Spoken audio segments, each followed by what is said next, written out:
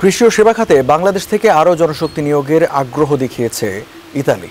জাতিসংঘের খাদ্য বিষয়ক শীর্ষ সম্মেলনের ফাঁকে প্রধানমন্ত্রী শেখ হাসিনার সঙ্গে ইতালির তিন মন্ত্রীর সাক্ষাৎকালে দেশটি এই আগ্রহ প্রকাশ করে।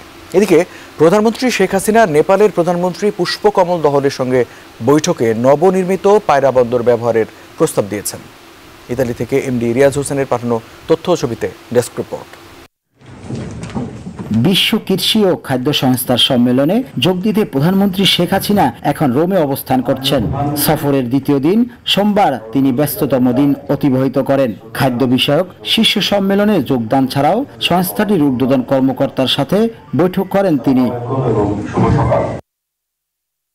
জাতিসংঘ খাদ্য ব্যবস্থা শীর্ষ সম্মেলনের ফাঁকে প্রধানমন্ত্রী শেখ হাসিনার সাথে ইতালির তিন মন্ত্রীর সাক্ষাৎকালে দেশটি এই আগ্রহ দেখায়। খাদ্য কৃষি সংস্থা এফএও সদর দপ্তরে প্রধানমন্ত্রীর সাথে বৈঠকে ইতালির মন্ত্রীদের উদ্ধৃতি দিয়ে পররাষ্ট্রমন্ত্রী ডক্টর এ কে আব্দুল মোমেন বলেন, ইতালি তার সেবা ও কৃষি খাতে বাংলাদেশ থেকে আরও কর্মী নিতে চায়।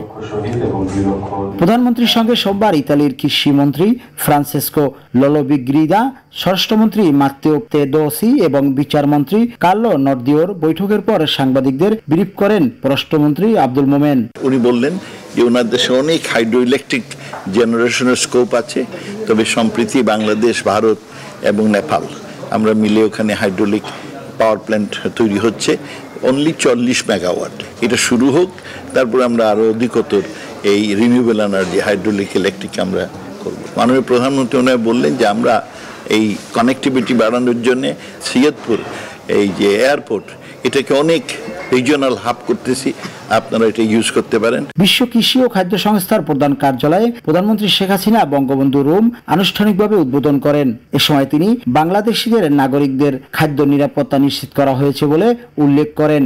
আমরা আমাদের দেশে আমাদের মানুষের জন্য খাদ্য নিরাপত্তা নিশ্চিত করা, তাদের বাসস্থানের ব্যবস্থা, তাদের চিকিৎসা ব্যবস্থা, শিক্ষার ব্যবস্থা, অর্থাৎ মৌলিক চাহিদাগুলি পূরণ করে আমাদের দেশকে জাতির পিতা বঙ্গবন্ধু শেখ মুজিবুর রহমান যেভাবে চেয়েছিলেন যে বাংলাদেশ হবে ক্ষুধা, দারিদ্র্যমুক্ত, উন্নত, সমৃদ্ধ দেশ, সেভাবে আমরা দেশকে গড়ে তুলতে চাই।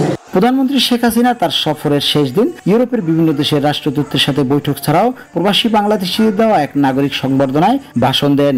ভোট চুরি করলে বাংলাদেশের মানুষ কিন্তু মেনে নেয় না, এটা হলো বাস্তবতা।